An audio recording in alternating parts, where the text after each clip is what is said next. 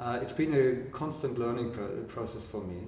Um, and that's what, what, I think science should be about. So, so this is what it should seek.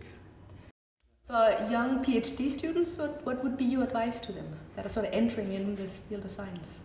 Um, with all these graduate programs, at least in Germany, I mean, there's, there's sort of a sense that it's you're just extending your education time and and there's a lot of expectations uh, from students I, I can sense where towards the supervisors uh, and, and PhD students need to understand it's now them to drive the research. So they can be critical about the project they're oh, given. Oh, definitely. They should right. ask questions. Right. And, and I mean, they, they should be the ones to drive the project. Yeah.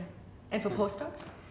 Um, for postdocs, um, I would still say, at least for German postdocs, it's, it's good to, uh, to go abroad. Um, it's perhaps also good to change fields. Uh, not entirely. I mean, I've, um, I've, I've done this myself, which, uh, which has been challenging. And what about for young group leaders that are just starting out in their career?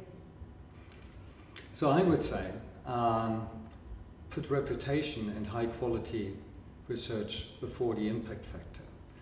I think it's a it's important that we publish in high profile journals, but, but it's even more important if you build your own group and if you start your lab, that you get known in your field and that you make similar contributions to your field. And that's, that's something you do by publishing high quality research. But well, my other advice would be to uh, identify mentors and talk to them about your research.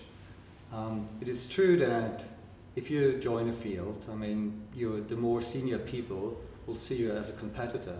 But at the same time, uh, most of the, the senior people I know, uh, they want to foster their own fields and they need fresh blood in their field and that will come with, through young people.